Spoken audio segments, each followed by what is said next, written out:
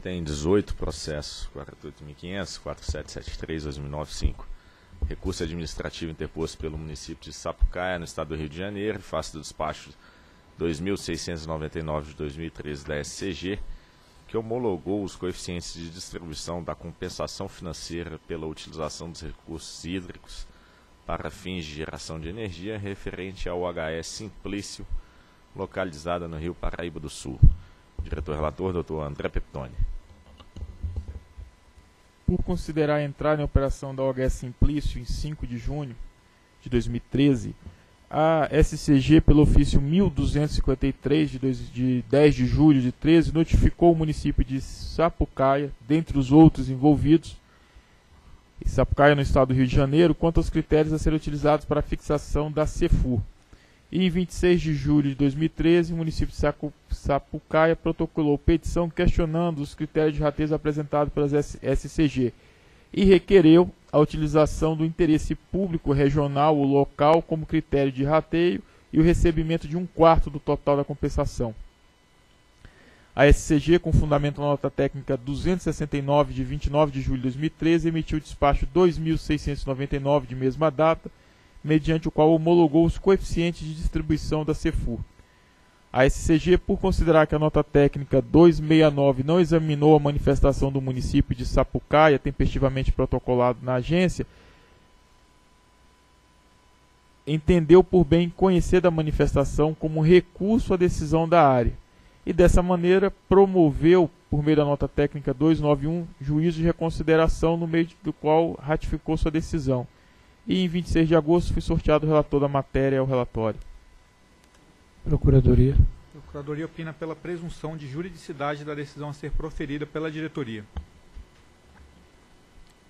Aqui, senhores diretores, o que chama a atenção é a discussão acessória sobre a forma, porque quanto ao mérito não há liberalidade da ANEL. Segue-se uma, uma fórmula prevista na lei e apenas se faz a prévia notificação aos municípios. Aí, no que diz respeito à, à tempestividade, nós temos que o despacho da SCG que traz o valor da CEFU para cada município, o despacho número 2699, ele foi publicado em 30 de julho e dessa forma o prazo para recurso iniciou em 31 de julho e venceu em 9 de agosto. Ocorre que o recurso que a, a peça que foi interpretada como recurso, ela foi apresentada na ANEL em 26 de julho, antes mesmo sequer da decisão ser tomada. Então, no mínimo, o, recurso ele é prematuro.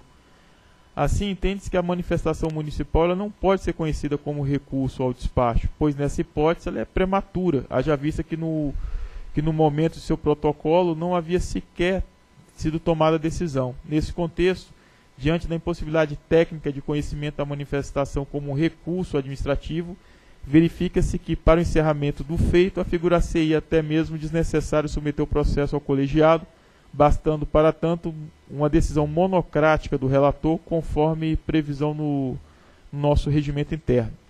Nada obstante a isso, convém deixar assentado que, ainda que a manifestação pudesse ser conhecida como recurso, o que se admite apenas para argumentar, melhor sorte não restaria interessada, haja vista que não há qualquer irregularidade na decisão tomada pela SCG. Verifica-se que a homologação dos coeficientes de, de distribuição da CEFU da OGS implícito ela foi realizada em estrita observância aos comandos do artigo 5 da Lei 7.990 de, de 89, a qual aqui reproduzo. E nesse sentido, estou no parágrafo 15, a, a nota técnica 291 da, SCG, ela explica a metodologia de cálculo e fundamenta a, a decisão. Nesse sentido, entende-se que ah, os argumentos trazidos pelos, pelos municípios eles não são aderentes ao, ao, diploma legal no que não podem ser acatados. Com apoio nessa fundamentação e no disposto no processo 48.500.004773-2009, dígito 05, voto por não conhecer, haja vista sua intempestividade, o recurso interposto pelo município de Sapucaia, no estado do Rio de Janeiro, mantendo, pois, na íntegra o despacho 2699 da SCG, que homologou os coeficientes de distribuição do recurso da CEFUR. É o voto. Aqui eu fico em dúvida, indago a Procuradoria. É, é, de fato é intempestivo o recurso tanto tardio como prematuro? É, é esse mesmo termo é, jurídico? Essa questão já foi objeto até de, de, análise pelo STJ, né? a pessoa que interpõe o recurso antes mesmo de ser publicada a decisão. Então é o caso de. Pode ser utilizado o termo tempestivo ou então ausência de cabimento, porque não houve uma decisão. Então o recurso aí não seria cabível. Né? É, eu acho que fica, é. é mais adequado não ausência de cabimento, né? Não conhecer por não ser cabi, cabível o recurso. Não existe uma decisão a ser impugnada. Então. Ok, em discussão. Mas eu entendia que sim, como você gosta de dizer, melhor sorte não assistiria ao agente, se mesmo fosse conhecido, né? E pelo mérito. dessa discussão de forma, eh, na relatoria eu promovi análise do mérito uhum. na linha de que foi aplicado com correição os termos da, da lei que regula a CEFU. Então, não, melhor sorte não assistiria o agente caso fosse recepcionado o recurso. Quer dizer, quer dizer, porque aí de fato, quer dizer, ele ou é prematuro ou é intempestivo, enfim, mas o fato é que ele não entrou na janela, vamos assim chamar, apropriada, né? Mas assim, poderia parecer um, um rigor né, do rito, mas no, no, mérito também não assiste razão. Então, ok, em votação. Voto com o relator. Também acompanho o relator. Também acompanho o relator e proclamo que ele decidiu por não conhecer, haja vista sua intempestividade ou, ou, ou como é que é, ausência de, ausência de cabimento, né?